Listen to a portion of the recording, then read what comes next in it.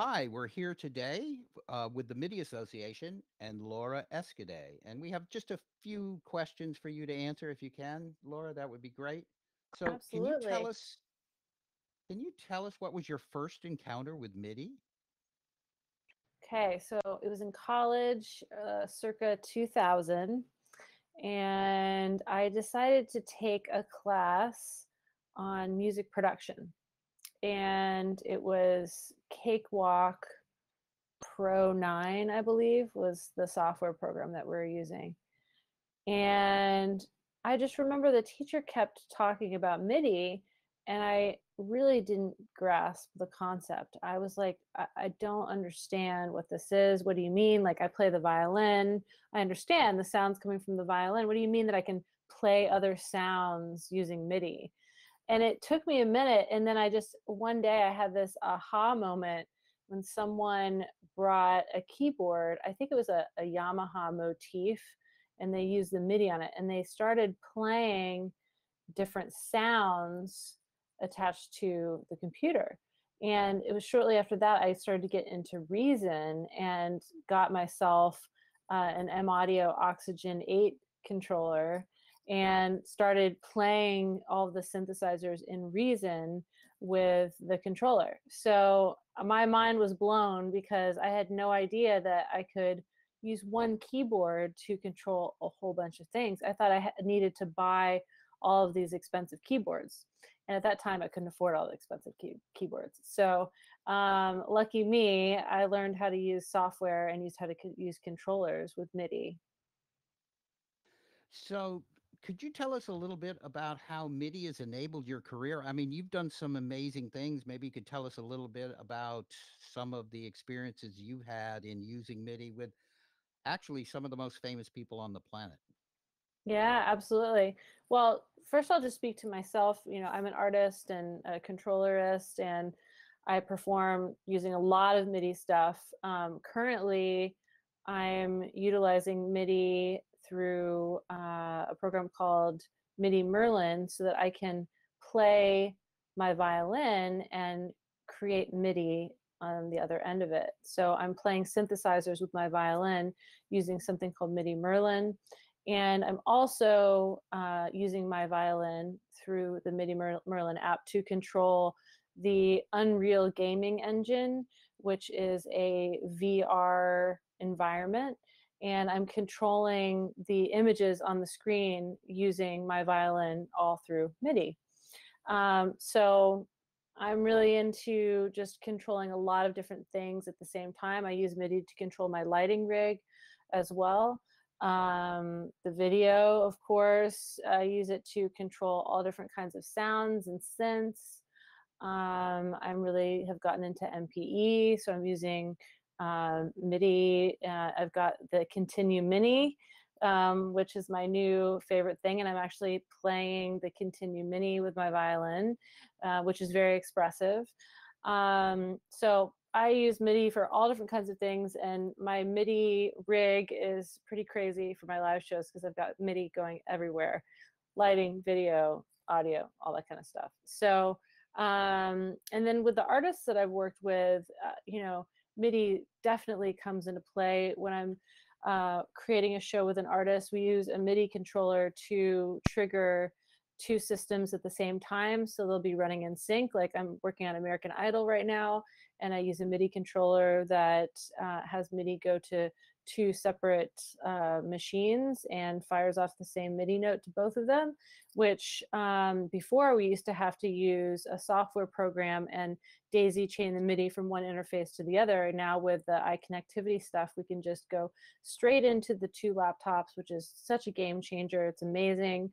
Um, so I use MIDI really heavily to trigger songs, to do effects, um, change volumes, things like that on stage uh, with my with my clients or behind the scenes, depending on on who the artist is. I recently also performed at the Grammys and was in the Grammy house band and used quite a bit of MIDI for that to trigger samples um, of different songs to uh, do effects, to have uh, just different control over the songs, and to uh, play the songs for the band before the uh, the moment came up, so I could cue them in their in ears, and all that was done uh, via MIDI. So, and then with some of the artists that I've worked with on tour that have a big rig, um, they've got MIDI all on stage. They're controlling all different types of sounds in Ableton Live, um, you know, MIDI keyboards, drum pads, you name it. So uh, that really comes into play because it's it's very flexible, right? They can just have one drum controller, and for every song, the presets all automatically change.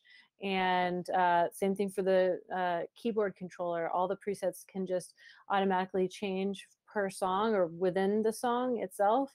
And um, it's just such a beautiful thing to be able to do that using MIDI. So I have a great story about American Idol. We did an interview with one of the techs who worked on American Idol a few years ago, and he was testing out the system and he sent an all notes on message on all channels in the system. And you know what happened? Oh All gosh. four chairs, all four chairs turned around. The chairs are actually it's a it's it's an activator, but it's actually they actually use MIDI to ch- trigger the chairs. Oh, wow. Yeah. Oh, yeah. Yeah. Absolutely. I think that's just awesome. I I didn't know that. I didn't know that at all. But but that actually brings another thing to mind, like uh, pyro and lasers at big shows. We send MIDI Yep. out to trigger that stuff as well. So it's just very very useful um, across the board. And there's a lot more flexibility with MIDI rather than time code for the lighting and the video. So a lot of people have moved to using MIDI to trigger um, their scenes for lighting and video.